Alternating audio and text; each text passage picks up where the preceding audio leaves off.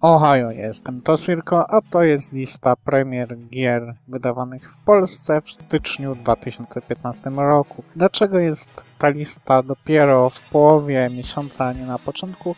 A już wyjaśnię.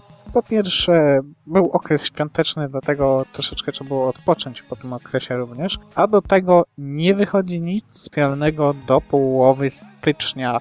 Rzekłbym nawet, że nie wychodzi nic nowego przed lutym. Dopiero na końcem stycznia albo początkiem lutego wychodzą ciekawe nowe gry. Jak już to wychodziło coś starszego albo jakieś tam dodatki. Okej, okay, zanim przejdziemy do właściwego materiału, chciałbym Wam życzyć wszystkim szczęśliwego nowego roku, aby ten rok był lepszy od poprzedniego i żeby wszystkim się dobrze wiodło. Ja tutaj kończę ten taki wstęp mały, mam nadzieję, że nikt nie będzie za złe, że tam kilka dni urlopu takiego, tak zwanego i teraz przejdziemy do wzmożonej pracy nad następnymi materiałami, które będą się e, pojawiać regularnie. Okej, okay, zatem przejdziemy do omawiania pierwszego trailera gry.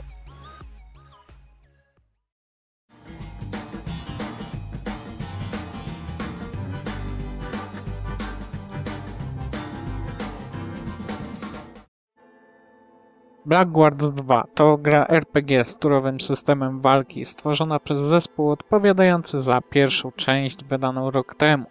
Akcja produkcji ponownie osadzona została w krainie fantazy, a kampania rozpoczyna się kilka lat po wydarzeniach z pierwszej części. Główną bohaterką jest bezwzględna kobieta imieniem Cassia, która nie cofnie się przed niczym, aby zrealizować swoje plany. Kampania zapewnia ponad 20 godzin zabawy, co jest sporo i mało, w zależności od tego jak na to spojrzymy. Blackguard 2 koncentruje się na toczeniu torowych potyczek, podczas bitew kluczową rolę odgrywa właściwe wykorzystanie otoczenia oraz unikalnej zdolności naszej drużyny. Poza standardowymi misjami zajmujemy się również podbijaniem terytoriów na mapie, a następnie odpieraniem ataków wroga.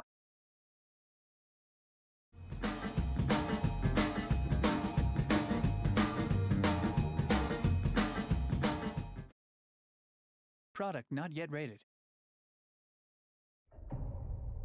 Will the President slash God Emperor for life ever choose a partner to reign alongside them? What are you guys trying to spell? I'm not moving it. I'm not moving it either. Jezebel? Syndrome Get Out of Hell to samodzielne rozszerzenie do gry Syndrome 4. Za tytuł odpowiedzialny jest studio Volition, znany z innych odsłon tej serii. W grze, bo tak możemy nazwać tą produkcję, jako iż nie musimy posiadać podstawki, wcielamy się w Johnego Gata, który wraz z Kinsey trafia do piekła. Naszym zadaniem jest pomóc dwójce bohaterów uratować porwanego prezydenta którego szatan zamierza ożenić ze swoją córką, która tego jednak nie chce. Rozgrywka opiera się na tych samych zasadach co Saints Row 4. W dalszym ciągu mamy do czynienia z absurdalnym soundboxem. Twórcy zatroszczyli się jednak o garść nowinek. Przede wszystkim nowe supermoce, modele broni oraz szereg mniejszych i większych subusów diabła. Oprawa graficzna oparta jest na tej samej technologii co podstawowa wersja gry, choć w liście piekielnym klimacie otoczenia. Dodatkowo całość uzupełniana jest przez soundtrackowe mocne metalowe brzmienie.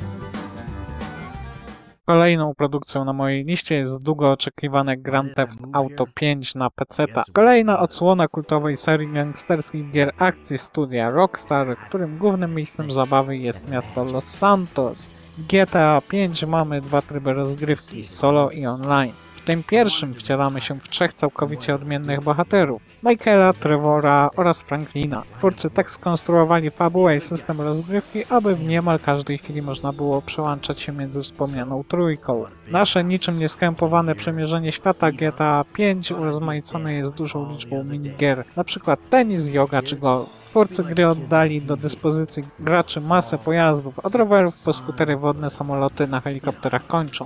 Gdy chodzi o oprawę audiowizualną, na potrzeby gry stworzono dynamiczną ścieżkę dźwiękową, która znakomicie dostosowuje się do tempa akcji, a grafika wygląda bardzo realistycznie. Jeśli natomiast chodzi o drugi typ gry, to zawiera ona dodatek GTA Online, gdzie gracze tworzą osobne postacie i rozwijają je wykonując misje lub angażując się w pomniejsze tryby rywalizacji. Tak więc prawdziwa zabawa zaczyna się wraz z przyjaciółmi. Chyba nie ma co więcej dodawać na temat tej gry, bo wszyscy i tak wiedzą więcej o niej niż ja, zwłaszcza, że ktoś grał już na, na pescie. Okej, okay, jedziemy dalej.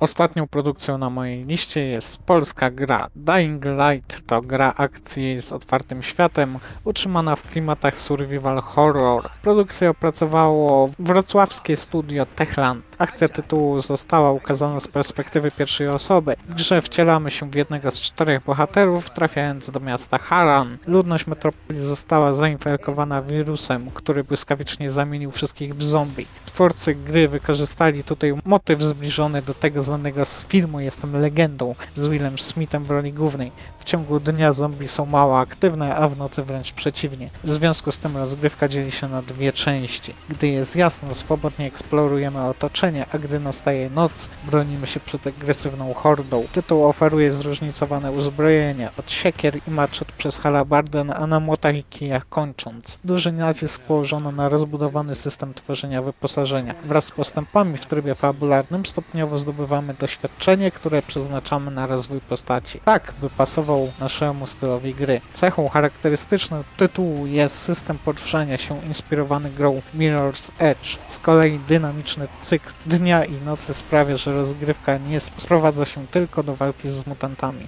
W trakcie rozgrywki nieraz natkniemy się na losowe zdarzenia i to od nas zależy jak postąpimy. Gra Techlandu pozwala rozegrać kampanię fabularną solo lub w cztery osoby w kooperacji przez internet. I na tym zakończymy moje przedstawianie dzisiejszych gier. Mam nadzieję, że w lutym będzie troszkę więcej. Pozdrawiam, cześć. Pa, pa.